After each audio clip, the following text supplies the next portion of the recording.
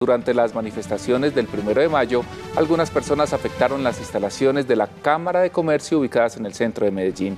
También sedes bancarias sufrieron daños en sus fachadas.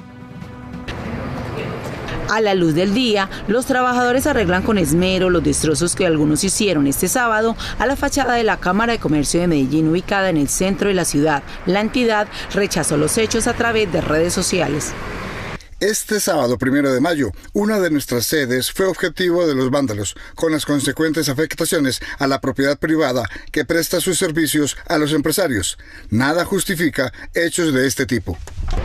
Junto a su negocio pequeño, Francisco Tirado relata los daños que sufrió el banco y que no han sido los únicos en los últimos años.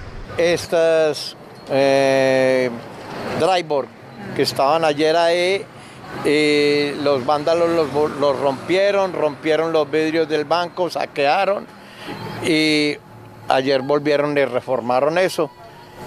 Ahí está, que Dios quiera que no lo vuelvan a hacer.